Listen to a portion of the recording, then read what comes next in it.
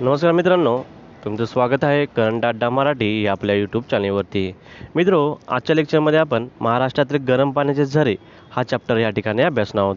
बघा मागील काही परीक्षांचा जर विचार केला तर बघा आपल्याला असं दिसून येतं की पोलीस भरतीपासून राज्यसेवेपर्यंत प्रत्येक प्रकारच्या परीक्षेमध्ये ह्या घटकावर या ठिकाणी प्रश्न विचारले गेले आहेत. तर चला मग मित्रांनो आज आपण ह्या घटकाचा अभ्यास करूया. मित्रांनो मागील काही परीक्षांचा जर अभ्यास केला तर आपल्याला असं लक्षात येईल की महाराष्ट्रात जवळपास एकवीस एक एकवीस एक गरम पाण्याचे असे झरे आहेत जे की परीक्षेच्या दृष्टिकोनातून महत्त्वाचे आहेत. ठीक आहे? तर ते त्यांची आपण विभागाने जिल्हावाईज केलेले आहे तर त्यात आता या ठिकाणी पाहूया. बघा पहिला जिल्हा आहे आपला पालघर. पालघरमध्ये जवळपास मित्रांनो पाच असे महत्त्वाचे गरम पाण्याचे झरे आहेत. ठीक आहे? कोणकोणते बघू?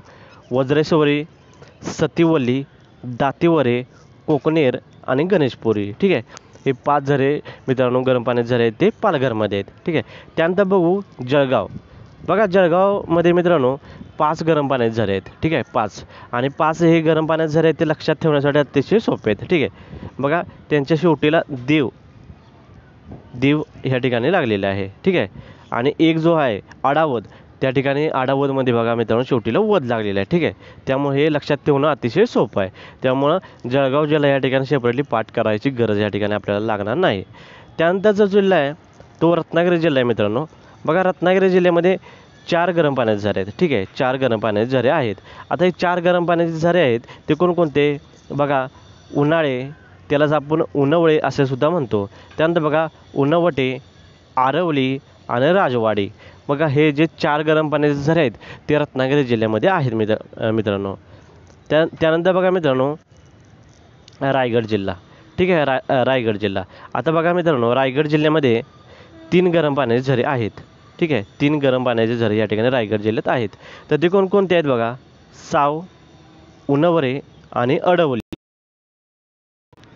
त्यानंतर बघा मित्रांनो जे चार जिल जिल्हे राहतात या ठिकाणी. त्या चार जिल्ह्यामध्ये प्रत्येकी एक या ठिकाणी गरम पाण्याचा झरा आहे. ते कोणकोणते बघू? ठाणे जिल्ह्यात बघा मित्रांनो अकलोली त्यानंतर अमरावतीमध्ये सालबर्डी आणि भंडाऱ्यामध्ये गायमुख आणि यवतमाळमध्ये मित्रांनो उनकेश्वर. हे या ठिकाणी चार गरम पाण्याचे झरे मित्रांनो ह्या नमूद केलेल्या जिल्ह्यामध्ये आहेत. मित्रांनो बघितलेल्या माहितीच्या आधारावर क्लर्क टायपिस्ट दोन हजार चौदाला क्वेश्चन हा पडला आहे तो या ठिकाणी पाहूया. बघा जिल्हे आणि गरम पाण्याचे झरे आहेत ह्या यांच्या जोड्या लावा असा क्वेश्चन आहे. ठीक आहे? आता हा क्वेश्चन बघितलेल्या माहितीच्या आधारावर या ठिकाणी सुटतो का आपल्याला बघूया.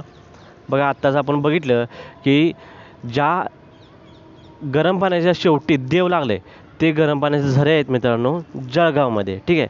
त्यामुळं जळगाव आणि उपनदेव ह्या ठिकाणी ही जोडी जुळत्या. बघा बला तीन.